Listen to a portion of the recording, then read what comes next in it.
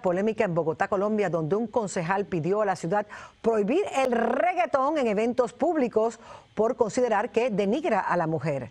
El concejal dice que muchas canciones eh, de este género musical en particular tratan a la mujer como un objeto sexual, le faltan el respeto y hasta incitan a la violencia.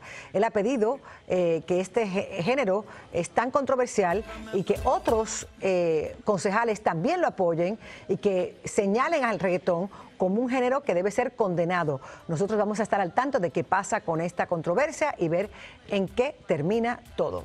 Y entonces ahora el encargado de hacer eso voy a ser yo. Tú. Ok, perfecto. Entonces, ¿qué te parece si vamos y la sorprendemos? Oh, claro que sí, vamos. Bueno, que sea lo Se lo que- ganó.